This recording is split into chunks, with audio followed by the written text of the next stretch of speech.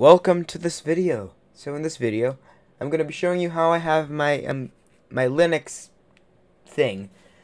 So firstly, I have this desktop background. Um, it's the core end screen. It's all the information I'm going to give you. It's the core end screen. It's it, no, it's it's um it's a it's a version of the core end screen, but where the um, pink is replaced with red. Okay. um. I also have this. Compiz. I don't have Compiz because Compiz actually isn't supported by GNOME 3. Speaking of GNOME 3, that's the desktop environment I'm using. GNOME 3.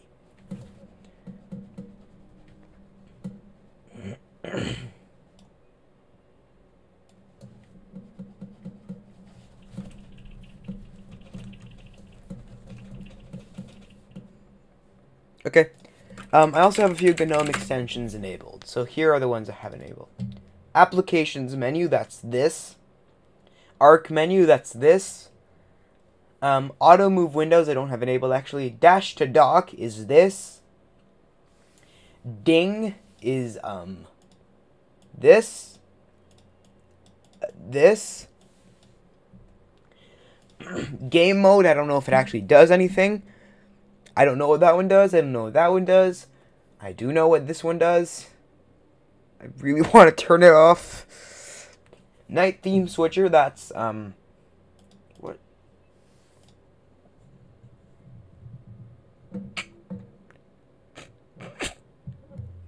Okay, ignore that.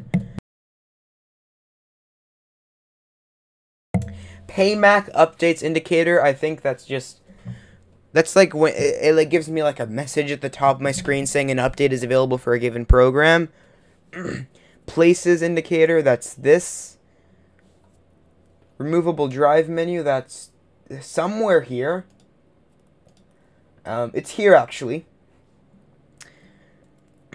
User themes is what allowed me to make to do this. Window navigator, I I actually forgot what that one does. And workspace indicator is this. And Compiz window effect is what is th this theme. It's it's wobbly windows. So I don't actually have Compiz.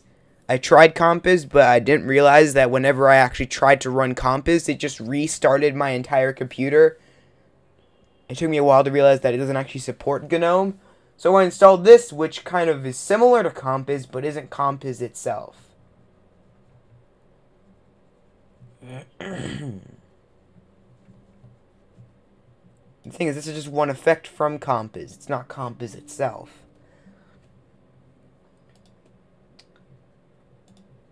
So this is my overall um, situation. So I have the arc menu in the upper left.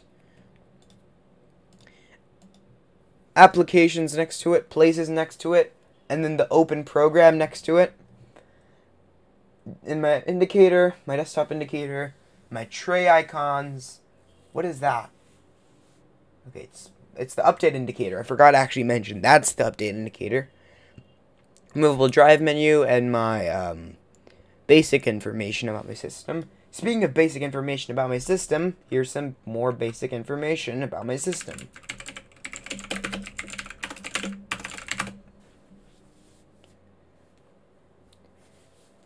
There you go.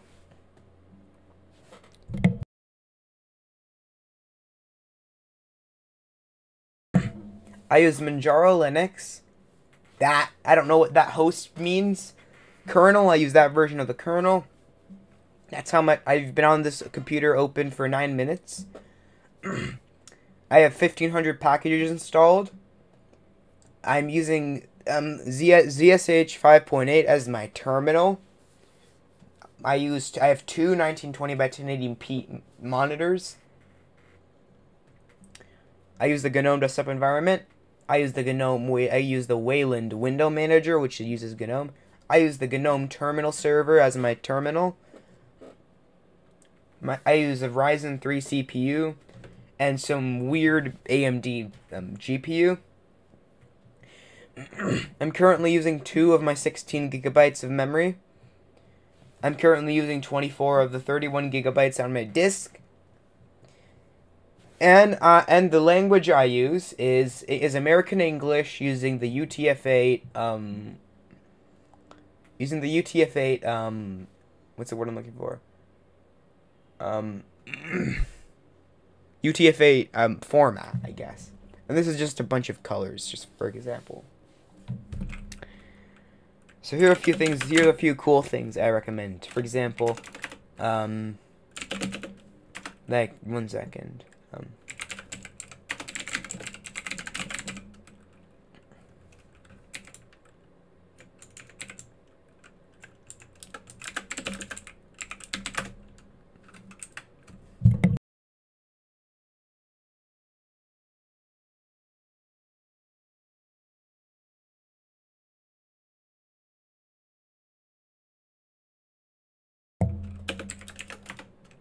one sec.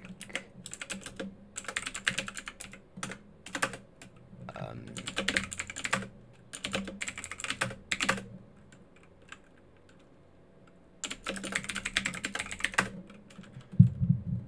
what was I gonna do?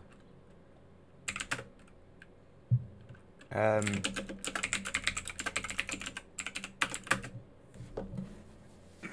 so basically, what this command does, rev, it reverses any file. Any, it, so it reverses the text of console app1.sln.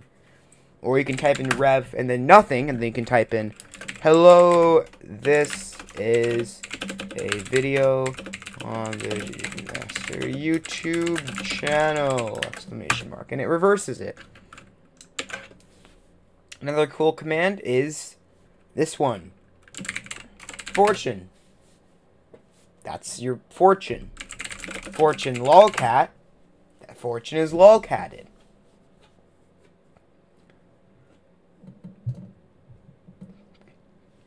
Um, we also have this command.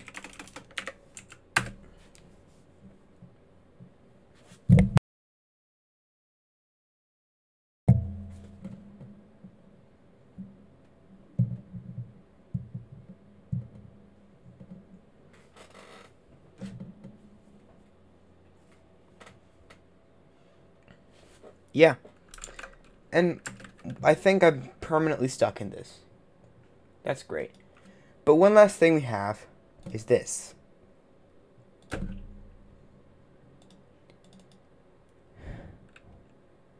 I forgot what command I was going to put. I seriously forgot what command I was going to put here. It is a command, but I don't remember which command.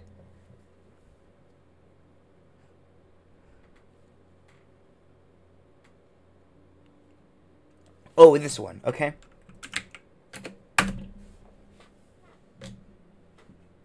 That's the steam train. And the steam and the my, my mouse is following the steam train to the across to the end of the screen. And now I'm going to go back and click the stop recording, but on this other